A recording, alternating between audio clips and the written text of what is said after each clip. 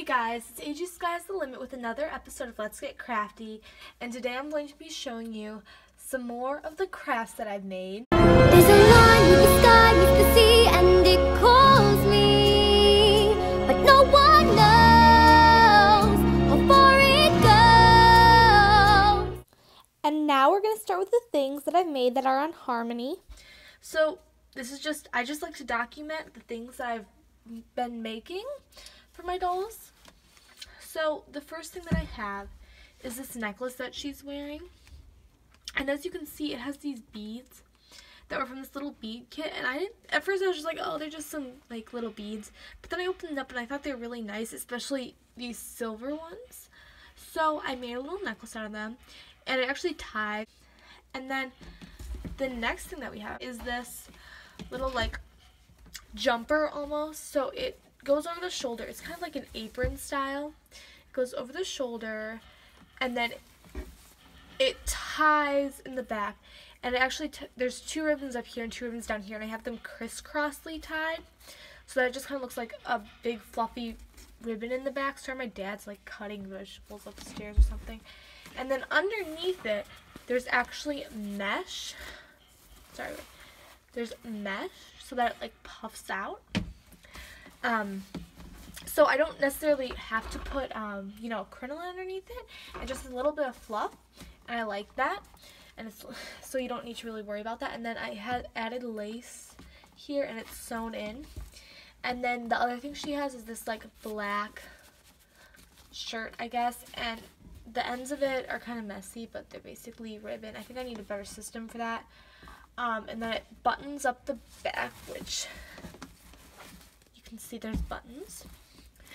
And how I did that was I put Mod Podge over the ribbon so that it wouldn't fray, and then I cut it, or I cut, I think I cut it first and then put Mod Podge. And then it actually gets black and lacy right here, so it's kind of like a lacy collar around her neck. And the final thing I have to show you is obviously these wings. So I'm thinking I'm going to take them off her, but they they actually um safety pin on. And then I made them, and then they look like this in the back. And they, they actually kind of just wobble because they're, they're safety pinned on, but I think that kind of looks cool. So I'm going to take them off. There they are. And the reason that they're safety pinned is because basically I thought it would be easier because basically then I can attach them to anything because, you know, um, I can attach them to her cloth. I can attach, like if she's not really wearing something that covers her back. And I can attach them to her clothing. And they just look really nice. And I'm to put them down and film them actually. They have these little like, so this is mesh on the inside. And they ha this is the front that, this is the part that faces forward. And then they have these little flowers. And then they have little gems that I glued on. And then there's actually star beads at the end. And then here's the flower.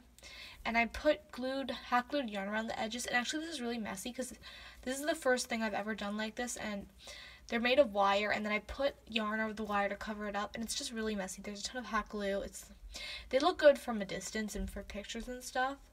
And then I glued, um, so I used this fabric for the back and I glued pieces of lace. And then there's more yarn here. And then I glued these little ribbons on to hang. So this is what it looks like from the back. And then I actually, for the safety pin, I sewed it and hot glued it. And then I sewed this little piece of ribbon to hold them together. So they're kind of messy. And I, I, honestly, this is my first attempt at doing anything like this. So I'm proud of them. And I'm going to move on to the stuff that's on Clarissa. Okay, now we're going to move on to the stuff that is on Clarissa. So I'll just start from the top. I made this hair, hair piece. It's kind of supposed to be mermaidy. It's like kind of like a little crown, and I really like it. And then I also made a matching choker. It has some more of those black jewels, but it also has these like aqua marine or aqua blue or teal or seafoam green, whatever, from this other bead kit. And then so they match. And, um, I think they would honestly look really good with her mermaid tail, but she, she doesn't have it on. And then I made this thing out of yarn, is kind of like a hair extension. I don't know how I feel about it. I just made it last minute because I, cause I'm playing around with different things in her hair, and I thought that looked nice.